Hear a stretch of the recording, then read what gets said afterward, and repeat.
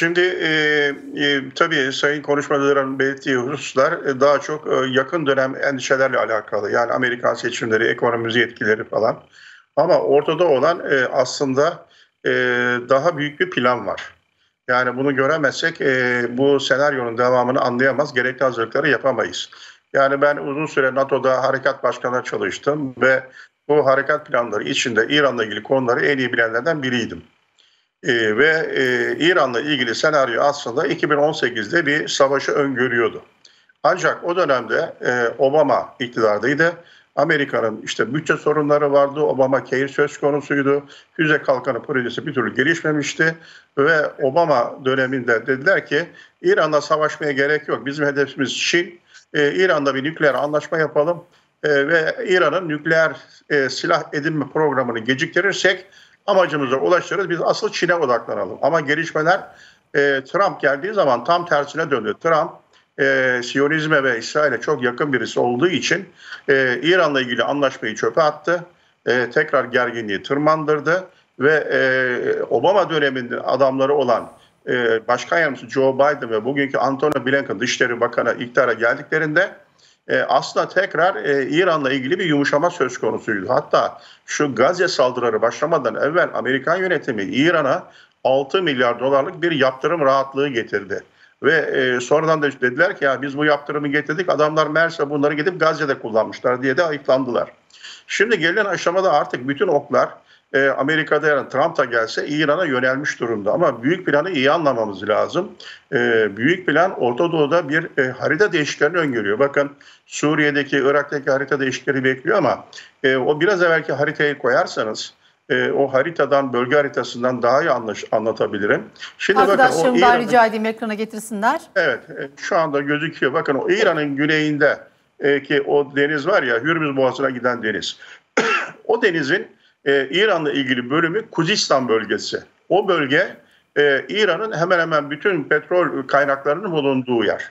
Onun hemen yer, ar, e, güneyinde denizle Katar arasında kalan bir bölge var.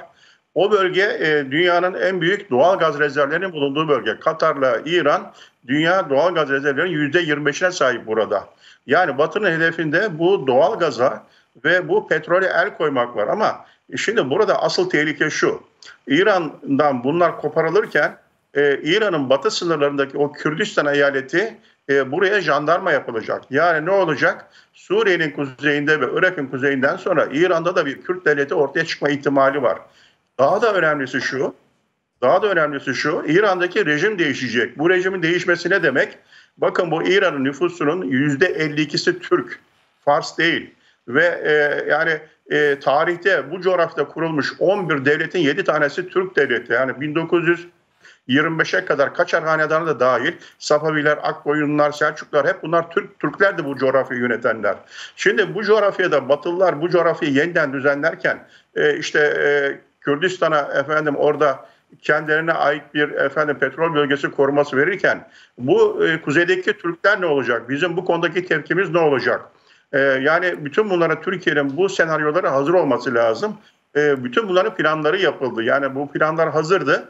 E, şimdi bu bölgesel savaşla beraber e, bunlar şimdi tekrar yürürlüğe gelecek. Bakın şu anda e, Doğu Akdeniz'de büyük bir e, uluslararası batılıların savaş gücü var, donanmalar var. E, aynı şeyi Adene koydular.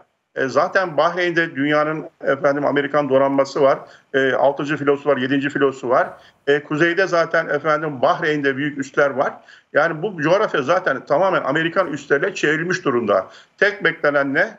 E, efendim batıdan gelecek olan takviyeler. Yani bizim reinforcement dediğimiz takviye planlarının yürürlüğe girmesi. Yani bu savaş planları burada hazır ama biz burada yani iki senenin, üç senenin ekonominin e, efendim hesabını yapmaktan ziyade daha büyük coğrafyada İran, Irak, Suriye bölünürken biz ne yapacağız? E, bizim planımız ne olacak? Yani Türkiye Amerika'nın ya da başka bir ülkenin planının değil, kendi planının aktörü olmalı. Bu senaryolara hazır olmamız lazım. Bu senaryolara hazır olmamız için de elimizdeki en değerli güç Türk Silahlı Kuvvetleri e, bu gücü e, en doğru şekilde kullanmanın hesaplarını yapmalıyız. Enerjimizi boşa harcamamalıyız diye düşünüyorum. Peki Necdet Saraç devam edelim. Ee, ee, bir, yeni bu, bir oyun planı içindeyiz. Ya, evet e, yani Sayit Hoca'nın çizdiği çerçeve önemli tabii ama ya burada başka bir bakışa ihtiyaç var. bakın yıllardır şimdi Yeşil Kuşak projesinden bu yana biz aynı işleri konuşuyoruz. Yani Yeşil Kuşak dediğimiz 1950'lerin NATO'nun kuruluşundan beri benzer işleri konuşuyoruz. Yani bu bölgede tehlike İran değil. İran'da rejim değişmeli mi? Değişmeli. Yani İran 79'dan beri yani inanılmaz bir diktatöryel yapıyla yönetiliyor. Ama tehlike İran değil ki yani bölgenin nasıl şeyi? ABD ve üzerinde NATO. Şimdi siz biz ABD'yi ve NATO'yu tartışmadığımız sürece bu bölgede normalleşme olmaz. Yani şimdi mesela bütün tartışmayı şey üzerine kurguluyor. Özellikle askeri uzmanlar. Irak ve Suriye'deki olası bir Kürt devleti üzerine kurguluyorlar. Ya Suudi Arabistan niye unutuyorsunuz? Katar Katar dediğiniz kat, yani şey e, e, Körfez ülkeleri dediğiniz doğrudan Amerikancı.